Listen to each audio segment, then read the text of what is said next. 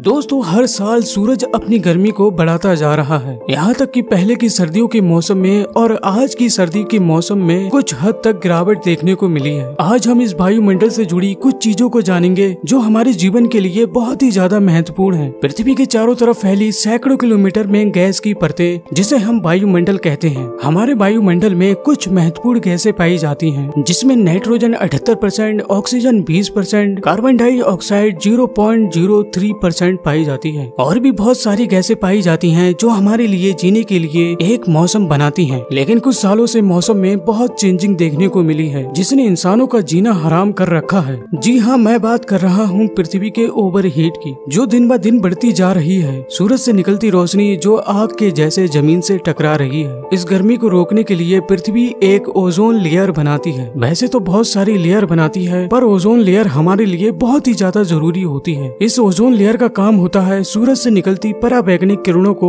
ज़मीन पर आने से रोकना। ओजोन लेयर ओजोन अणुओं से मिलकर बनी होती है, जो हमारी धरती से 20 से 40 किलोमीटर के बीच में स्ट्रेटोस्फीयर मंडल में पाई जाती है। जब सूरज से निकलती पराबैंगनिक किरणें ऑक्सीजन के परमाणु को तोड़ती हैं, तब ये ऑक्सीजन परमाणु हमारी वायुमंडल के ऑक्सीजन से जाकर मिल जाते हैं। तब इस बॉन्डिंग से ओजोन लेयर बनती है। लेकिन कुछ सालों से इंसानों ने इस लेयर को बहुत ही ज़्यादा कमज़ोर कर दिया है। इंसानों ने बड़े बड़े भागों में एसी और फ्रिज का यूज़ करना शुरू कर दिया है। और हर वो चीज़ जिसमें क्लोरोफ्लोरो कार्बन गैस पाई जाती है, इस गैस का एक अणु ऊपर जाकर ओजोन लेयर के लाखों अणुओं को बर्बाद कर देता है। अगर एसी फ्रिज डियो हर साल इसी तरह से यूज़ होते रहे तो हर साल धरती का टेम्परेचर बढ़ता रहेगा। और एक दिन वो आएगा जब इंसानों को इन सारी चीज़ों से दूर होना पड़ेगा। इसलिए इन सारी चीज़ों का यूज़ ज़्यादा ना करें और धरती के मौसम को साफ़ रखें।